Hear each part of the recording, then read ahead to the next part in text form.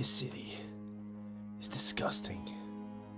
Greyrock City. The police are either corrupt or inept. And when that's the case, when no one's getting justice, that responsibility falls on one man.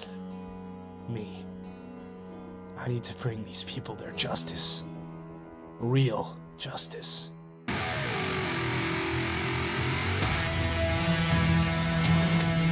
I'm in.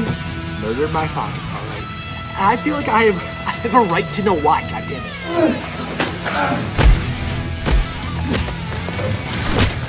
There's no justice here. It's a slaughterhouse.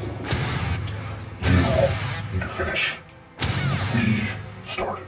You started. I didn't start this!